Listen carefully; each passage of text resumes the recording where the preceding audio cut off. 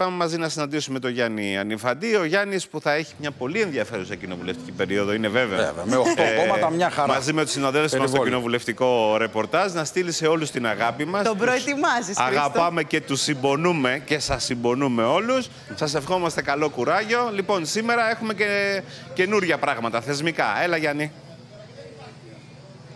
Καλή σας ημέρα λοιπόν. Σε λίγη ώρα αναμένεται να ξεκινήσει εδώ η συνεδρία στη Βουλή με μοναδικό αντικείμενο την εκλογή του νέου Προεδρείου της Βουλής. Πώς θα γίνει λοιπόν αυτό, η, η Βουλή θα συνεδριάσει υπό τον ε, ε, πρώτο αντιπρόεδρο, τον Νικήτα Κακλαμάνη, τον προσωρινό αντιπρόεδρο, ο οποίος και θα διαβάσει τις, θα, θα ανακοινώσει μάλλον τις προτάσεις των Προέδρων των κοινοβουλευτικών ομάδων για τον καινούριο πρόεδρο της Βουλής. Από όσο λοιπόν ε, γνωρίζουμε, η, η κυβέρνηση Νέα Δημοκρατία έχει προτείνει τον νυν πρόεδρο, τον Κωνσταντίνο Τασούλα, να είναι ο καινούριος πρόεδρος της Βουλής και, θα ακολουθηθεί, και θα ακολουθήσει η ονομαστική ψηφοφορία για την εκλογή του νέου προέδρου. Απαιτείται η πλειοψηφία, θα γίνει ονομαστική ψηφοφορία όπως σας είπα, και απαιτείται η πλειοψηφία, δηλαδή η απόλυτη πλειοψηφία, 151 ψήφοι λοιπόν. Και εκτός από όπτου, ο, ο κύριος Κωνσταντίνος Τασούλας θα είναι ο νέος πρόεδρος της Βουλής. Καθώς από όσο γνωρίζουμε, τόσο ο ΣΥΡΙΖΑ όσο και το ΠΑΣΟΚ θα υποστηρίξουν αυτήν την υποψηφιότητα. Να σας πω ότι και πριν από λίγο ενημερωθήκαμε ότι το κόμμα της κυρίας Ζωής Κωνσταντοπούλου, η Πλεύση Ελευθερίας, θα ψηφίσει παρόν στην εκλογή ναι. του νέου Προέδρου.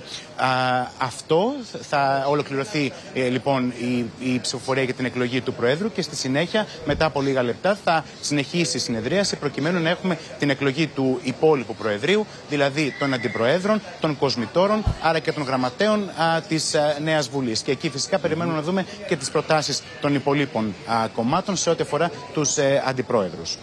Ε, μάλιστα. Γιάννη, καλό θα ήταν να το πούμε εμείς τώρα, στο ναι. δικό μας, δεν το ναι, λέει ο ναι. Γιάννης. Καλό θα ήταν όλοι να στηρίξουν τον κύριο Τασούλα. Ναι. Γιατί καταλαβαίνουν και υποθέτω ότι και τα υπόλοιπα κόμματα mm -hmm. ότι η, η αποστολή του Τασούλα είναι πάρα πολύ δύσκολη. Είναι πολύ δύσκολη και καλό θα ήταν να ήταν σύμφωνη γνώμη όλων γιατί 8 κόμματα να τα βάλεις σε μία σειρά. Να αρχίσεις. Μην αρχίσουμε τίποτα φρουρές, ελάτε εδώ και εκείνα τα λοιπά. Τα έχουμε ζήσει δεν αυτά νομίζω, τα πράγματα. Μότα, δεν λοιπόν, ο κύριος Τασούλα δεν χρειάζεται να δώσει εξετάσεις για το αν, αν μπορεί ή δεν μπορεί σε αυτή τη θέση. Τα έχει πάει πάρα πολύ καλά.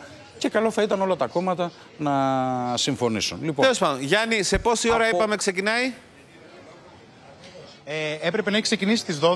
Υποψιάζουμε ότι σε λίγα λεπτά θα ξεκινήσει. Θα έχουμε την ονομαστική ψηφοφορία, να δούμε και τα αποτελέσματα και πόσες ψήφους θα πάρει. Γιατί θα πάρει ο κύριος Στασούλας. Ο κ. Κωνσταντίνος Στασούλας είχε, και, είχε και ρεκόρ. Είχε πάρει 283 ναι. ψήφους. Και εφόσον επανεκλεγεί, θα είναι και ένας από τους λίγους προέδρους που, θα διατε... που θα έχει και τρίτη θητεία. Για να έχει. Άρχισε. Στο Κανάκι τον Τζούνο το λέω.